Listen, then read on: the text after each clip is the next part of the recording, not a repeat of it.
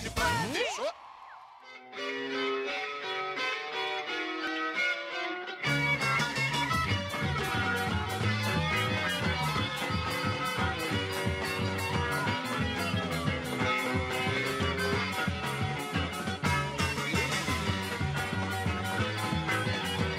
Frevo com rock and roll, guitarra com cavaquinho. Será que combina no carnaval? Tudo combina com frevo. É peça por peça, como se fosse um quebra-cabeça. Se você souber montar, vai se encaixar com o frevo, velho. Claro que combina, são dois ritmos que realmente fazem muito sucesso aqui em Recife. Claro que combina, lógico, evidentemente. Tá levando o som de frevo, mas com a guitarra do rock.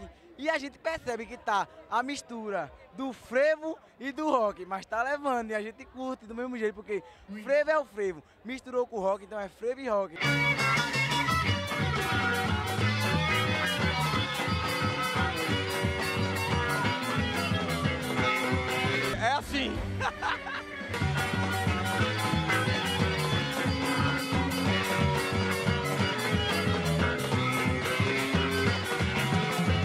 Na verdade é uma homenagem ao seu Valença, que eu toco com ele há 30 anos, é, sou arranjador, produzi os discos dele, e como esse é o ano em homenagem a ele, a gente está fazendo uma singela homenagem, e a gente pensou uma forma, como são os músicos que estão fazendo essa coisa, eu que estou assim, vamos dizer, conduzindo o, esse projeto, então é uma, uma leitura do frevo do jeito que a gente vê. A gente pegou algumas músicas dele, alguma coisa de Cucide Almeida, foi fazendo um mélanger em francês, que é mistura a mesma coisa de mixagem. E Pepeu, na verdade, é o primeiro cara que, quando eu vi, eu pirei, porque ele conseguiu trazer assim, a guitarra, colocar uma, uma linguagem da, da brasileira na guitarra. A base da coisa é essa, é a guitarra falar no lugar do, de uma letra, tentar expressar isso.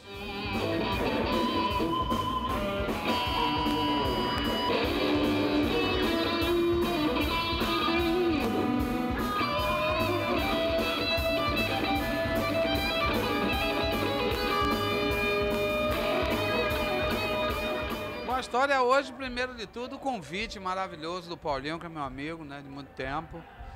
De vir aqui, guitarrista de mão cheia, cinco estrelas, né? No Brasil tem muito datilógrafo, né? Tem poucos guitarristas, tem muito datilógrafo. Mas o Paulinho é, é tá nesse nesse hall aí que é considerado aí entre os melhores do mundo.